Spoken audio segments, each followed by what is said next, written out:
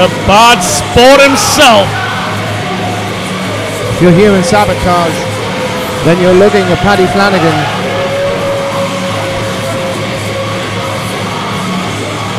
And nobody wants to do that. The man with a very, very big chip on his shoulder, The man who's got a point to prove. but not doing a very good job of proving that point.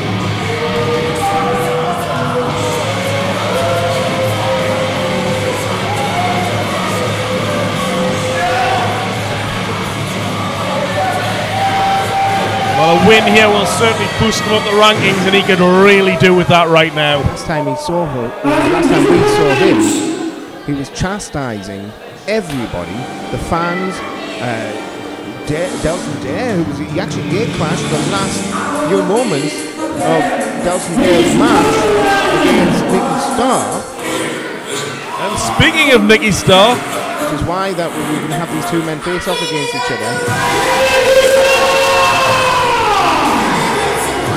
What is he wearing? Get the hell out of here! Nicky Starr likes to have fun. He's, he's come ready for bed!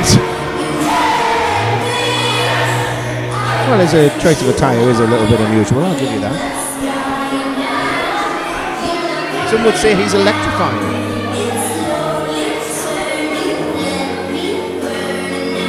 Hey, how do you get uh, how do you get Nicky Starr on a bus? You know what? I'm gonna let you have this one. Go on. How do you get Nicky Starr on a bus? Pokemon. Uh huh. I looked that joke up. Right. Oh, that that wasn't a punchline. Oh dear, oh dear. I can see why Paddy Flannagan feels really annoyed. No, Paddy Flannagan feels that he is underappreciated. Taking it out on Nicky Starr and taking it out on the people that pay good money to watch these shows is not the way to go about it. He if he wants to be appreciated, then do something to make us appreciate him. I'll tell you what, he does, right? He's had his confidence knocked. He felt so bad the other day. He said to his mum, he said, Mum, I'm feeling really fat. Can you say something nice about me? And his mum said, Well, your eyesight's spot on. Comedy Hour here at Almost Pro Wrestling. Do not let the comical attire of Nicky Starr fool you. This is going to be a very interesting matchup. Both very, very good wrestlers. Well, that's the thing, they are. They both have a lot of excellent attributes. However, neither one of them seems to be able to get it done. I mean, as you say, Nicky Starr last time he was in action against Desmond Day lost that match. Paddy thought he would uh, have a little laugh at his expense. Well, I'll tell you what, he's got to back it up now.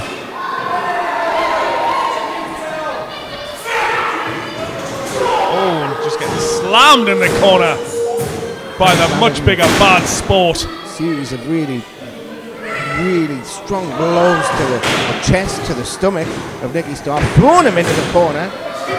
Now, which one of these do you think's the stronger man? I'm not going to justify that one with an answer. Uh-huh. Oh, this is a foreign object. Referee! Surely this is going to be a disqualification. Stop him! Oh, straight at the Pokeballs. I think the referee doesn't really care.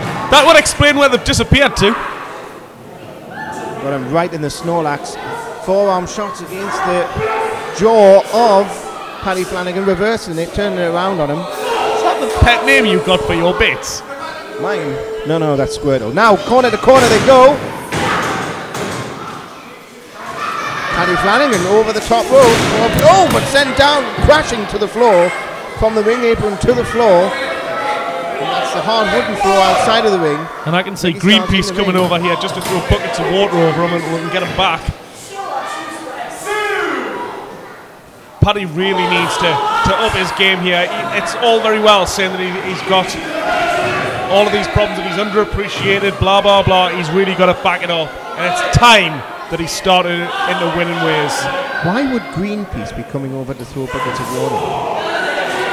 Seriously. So ask a grown up to Google the answers for you after the show. You were making some kind of reference to the WWF, the um, original WWF, of course. No, we won't be hitting pandas with chairs here, but I'll tell you what, on the outside, Paddy Flannagan could be hitting Nicky Starr with absolutely anything. And Nicky Starr came crashing face first down from the uh, onto the ring apron and then down to the floor. A lot of this is taking place outside of the ring. Neither men have broken the count just yet. Tell you what, it's interesting. I've just noticed that uh, Nicky Starr's got on one of those GOD t-shirts. GOD, of course, is Generation of Destruction, which is another name of uh, Marvel-Ass, which is Assassin and Lucas Marvel. So, I mean, I've seen him hanging around them, and I know he's a bit of a fanboy, and he certainly admires them. Maybe it's just a, tribute to them, but it's, it's interesting to know. Maybe it is just a tribute. Maybe we shouldn't make too much of it, but it is a. I mean, bless me, probably hasn't got a lot of t-shirts. No, but he's got plenty of onesies. Oh! He's got a lot of Big of right hand to the there. face. by Paddy Flannagan, sending Nicky Starr to the ground. He was sailing off the stage at the time. That's it. Nicky Starr went for quick attack, but he's faded. That's the problem with Paddy Flannagan. You you can throw as many quick attacks at him as you want, but he can very quickly turn it around on you.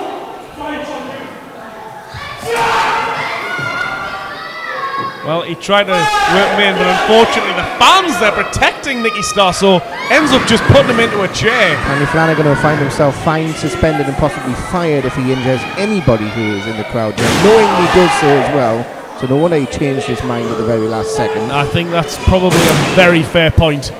Going for the pinfall cover, however, not quite getting the three. Barely getting the two. There's still plenty of fight in Starr. Drawn up against the second rope here. Paddy Flannagan bringing all of his weight down across the across the back, leaning into the rope, the throat of Nicky Starr, who's had all of the air driven out of him. And I don't care how much of a, a mover you are, how fast you claim to be. If you can't breathe, you're not going anywhere. No, especially when you're lying on your back like that, you're just prone for the likes of the bad sport. The difference between a sprinter and a long distance runner, a sprinter holds his breath and a long distance runner breathes at the right time. We've got to find very similar styles here. Paddy Flannagan taking his time, controlling the match. Nicky Starr likes to fire off bursts, likes to come in very quick. Are you a sprinter? Shame. Maybe another life. Oh, wheelbarrow, but no. Not quite finding it though. Instead, finding a clothesline. Hook of the leg. And he just powered through Nicky Starr with that. Now, Paddy Flannagan is the bigger of the two men, so it does take a lot of effort for, for Nicky Starr to kick out, especially when all of Paddy Flannagan's weight is being brought down across the chest and the upper body area, right where the shoulders are. However, he has just laid his hand on the referee, a referee who has already already warned him enough times in this match to play by the rules. Well, it seems that Craig Burt is quite happy with this so far. Paddy Flannagan can, can flaunt the rules all he wants, and he can go on about being as underappreciated and undervalued as he likes. If he can't wrestle here, then no one's going to care whether or not he's valued at all. Well, I think he cares, and the thing is, we have seen that he can actually wrestle, and he's proven it right now. The guy can wrestle and he can brawl. We know he can do those things, but it's probably a little bit better if he plays by the rules as he's doing it. He gets to remain part of the company that is employing him. It's all legal if the referee doesn't see it, or if he lets you get away with it. Yeah, maybe there's a little bit of leniency there after Nicky Starr threw his on him. Exactly, turnabout's fair play.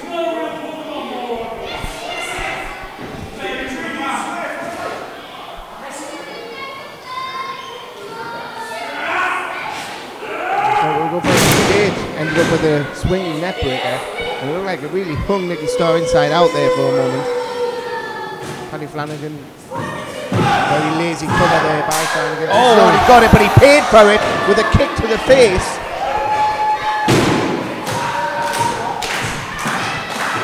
Trying to get to his feet. He's got to be woozy. Oh, he's going for that wheelbarrow move again. But again, not finding anything. However, quickly turns around on the ring apron. Another kick to the face by Nicky Starr on his way back into the ring. Oh, this is interesting. springboard crossbody on the oh. second rope. Oh! Oh, slam as a counter by Paddy Flannagan. Who turns it around quickly, straight into the cover, a proper cover this time, but not quite finding the three count that he thought it would do. Yeah, not quick enough. If he floated over, he might have got that. And the extra weight bearing down on Nicky Starr, that could have been the end. Oh! Leg drop across the back again. A lot of attention being paid across the back and the front of the upper body area. But again, not quite finding the three count. Clawing now at the face. Referee utilising the count.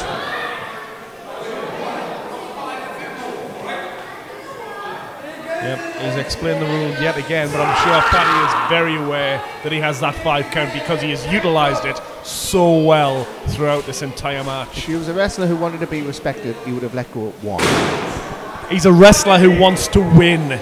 Respect is is something that comes along as you go, but you've got to win first. Shot off the ropes, Irish whip. This is Rosine instead. Chop block. Drop kick.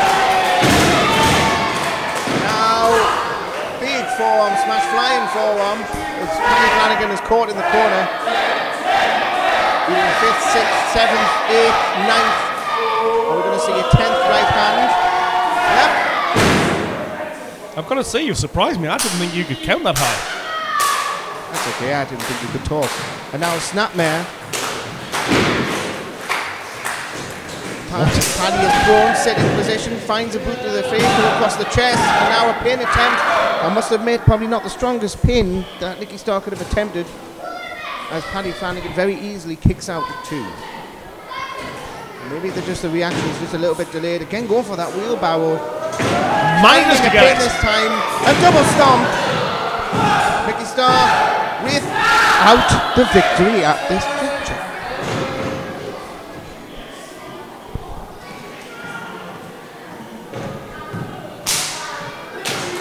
Might be trying to get the fans there on his side, but the thing is, he's, he's going to have to stay on top. Ah, So regrouping, but unfortunately spent too long regrouping. he did. That's the inexperience of Nicky Starr. Perhaps, ooh, shoulder, ooh, wow. Shoulder block. and charging into Paddy, and that's not an ideal thing to do. I mean, look at the bulk and the size of Paddy Flannagan. Cartwheel sent Nicky Starr into a backwards spin. And once again, both men are now down. Both men both got the, the to the count of ten below the back of the feet. If one or both make it so, the count will break. Oh, he's tapping. Surely that's got to be a tap out. The referee's not counting that, surely. It's- He's not tapping out from a submission. He is just getting himself back to his feet. Willing the audience to help them back into this match by feeding off their energy. And back into this match, both men are right, then a right, then a right from both men. Back and forth. Now Nicky Starr's got the advantage. Going for another. Going for the wrecking ball, misses it. Makes Paddy Flannagan eat a back elbow instead. It looks like he is coming off the second rope. Tornado DDT springboard off the second rope.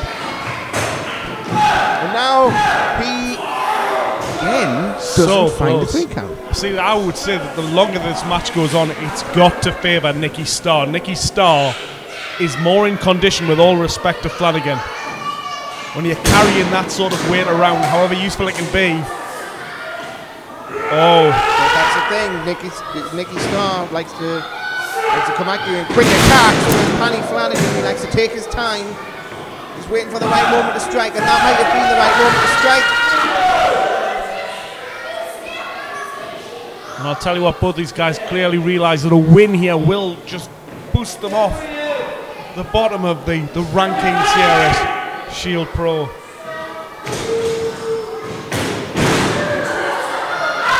To the thigh find that's mark, and now Nicky Starr is back in control. Huge sent onto the back. Now he leaves. Oh my goodness, now I'm wondering what he has to do to put the big guy away. Well, he's thinking that himself. He's wondering what else has he got in that Back to the ropes. his. finding the thigh to the, the stomach, driving all of the air out of him, sending him to the bottom of the mat. Oh!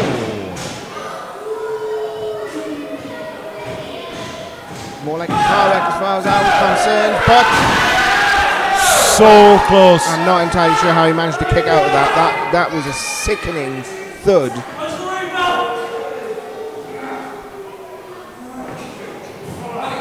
Paddy is absolutely adamant that it's three. The referee is saying it's two. He's gotta be That's very not really going to get him anywhere.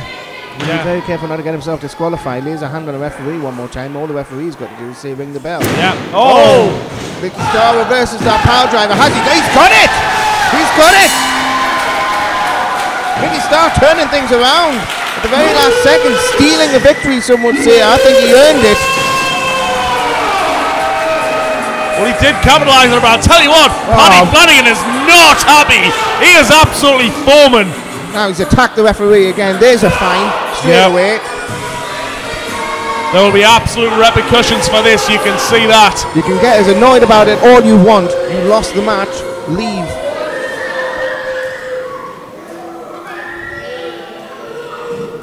Paddy Flannagan's still in the ring. Having words with the referee. the referee's not going to change his mind because you couldn't kick out at three. And now he's, co- oh, he's coming over here. Maybe he's heard what was What? said. No. Hey, well, I thought that. I thought that, but the referee. I don't remember you winning the match. So I- Paddy Flannagan, you either won the match or you lost the match, and I don't think you won the match. Hey, you're saying that very bravely because I won't say it while he's standing right in front of me. I'm not going to protect Hey, you. lay a hand on me, and he's going to find himself out of a job.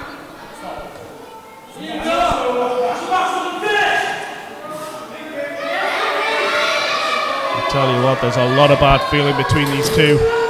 Look, I'm sorry. He can go around blaming everybody else all he likes. He can go and kick as many chairs as he likes. At the end of the day, if you want to be appreciated, win some matches.